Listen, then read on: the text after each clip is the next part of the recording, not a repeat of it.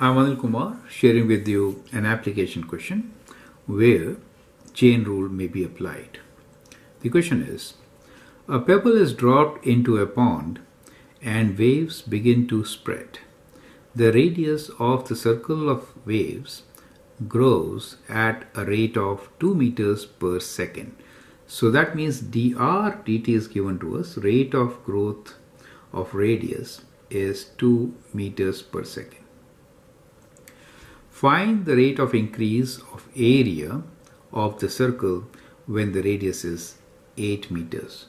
So we want to find rate of increase of area the, that is with respect to time when radius is equals to 8 meters right? So that is what we need to find. So I hope the question is very clear. We are given the rate at which the circle radius is increasing which is 2 meters per second.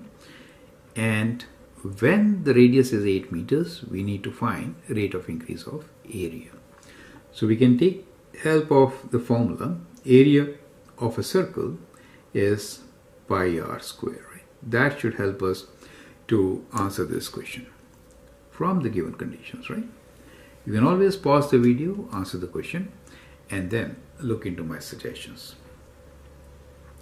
now since we need to figure out the rate of change of area with respect to time when radius is 8 meters let us find how much will the time be, right? It says that radius of the circle of the wave grows at a rate of 2 meters per second. So when will it be 8 meters away?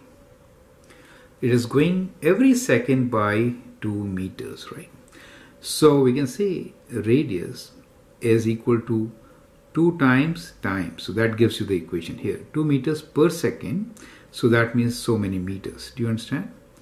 So units for for the rate is meters per second and when you multiply by second ss cancels you get meters so that becomes the relation so now we have all the things which we need so the first step should be to find the time when the radius is 8 meters so first step is find time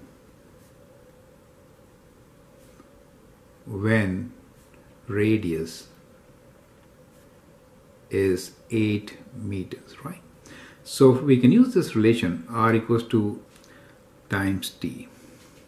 So from here we can find what time is. So time is equals to radius is 8, right? So 8 divided by 2 which is 4 seconds. So we need to find change in area when radius is 8 meters or you can say time is 4 seconds, right? Now we know the formula for area for a circle. Area is pi r square. Differentiating with respect to time. So we'll differentiate with respect to time. So we get dA dt equals to derivative of pi r square d dt, right? Pi r square. So that is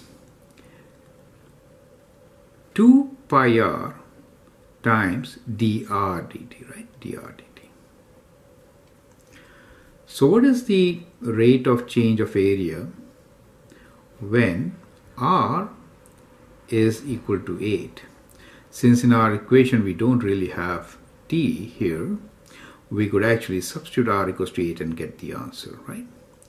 dr dt is constant, 2 meters per second. So we get 2 times pi times 8 which is the radius and dr dt is given to us as 2 so multiplying we get 16 times 2 which is 32 pi and area is we're working with units of meters square is the area per second is the unit so that is how you would actually solve such a question.